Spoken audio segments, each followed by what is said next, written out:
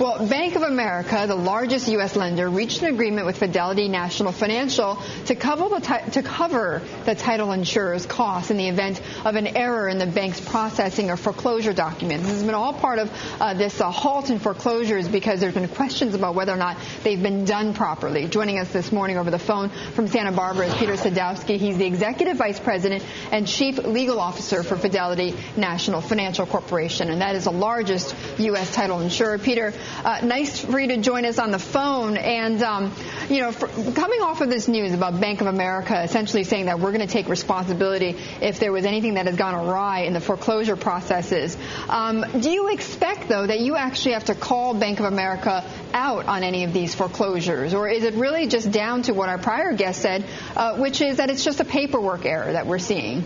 Well, yes, uh, Betty, we believe that really uh, this is a situation that is not going to affect us. It is so highly unlikely that uh, consumers who purchase these homes from foreclosure will be kicked out of their houses uh, because of the problems that we've been reading about in the paper. Mm-hmm. Uh, you have a situation where they've moved in, they have a new life, they probably invested money in the new homes, and uh, we just can't foresee a situation. And if one happens, it truly will be a unique situation where the court will say, no, we're going to kick these people out and put back the individuals they actually were not paying but, uh, um, their mortgages. Right. But Paul Miller at FBR, who's the person we interviewed earlier, said that uh, there isn't one single case so far from this foreclosure problem uh, where somebody has some somebody who was you know behind on their payments were actually kicked out of their homes. That there hasn't been a case like that. I mean, is that right?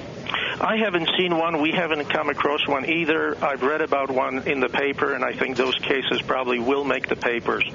The problems that are occurring are those where the process of foreclosure takes place in court and so it is. It, it is a lengthy process, and uh, it is just very unlikely that someone who actually paid on the mortgage wouldn't come in and say, "Hey, why are you foreclosing on me?"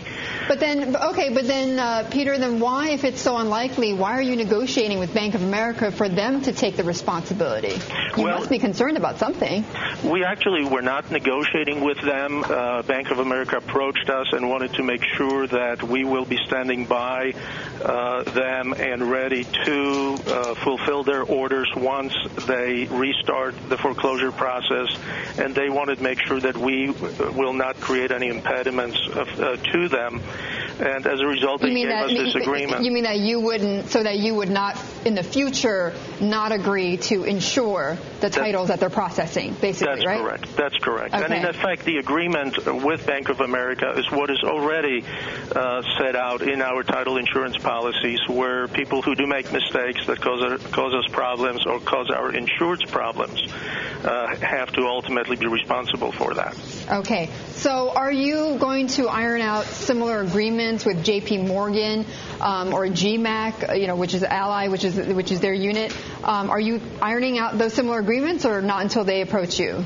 Well, uh, we have been talking to few, to a few of the lenders, but really our Land Title Association is the one that has been in discussions with uh, Fannie and Freddie to see what they want uh, to see from us.